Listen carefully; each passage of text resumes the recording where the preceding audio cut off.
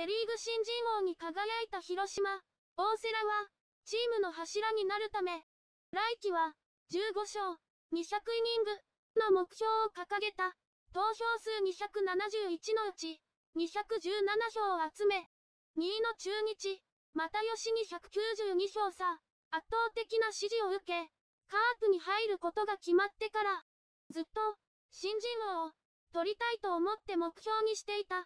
すごく嬉しい、と喜びを語った。1年目で先発ローテ入りし、10勝、8敗、とマーク。怪我なくやれたので、満点に近い数字を上げてもいい、と評価する一方、今のままだと、今年の成績にしかいけない。研究されて今年の成績も残せないかもしれない。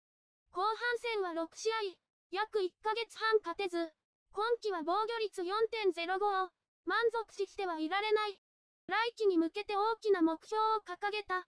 いずれはチームの柱になりたいと思っている。それは早い方がいい。15勝、200イニング。目標設定は高い方がいい。秋季キャンプではスプリット習得に乗り出し、オフの自主トレはエース、前田と行う。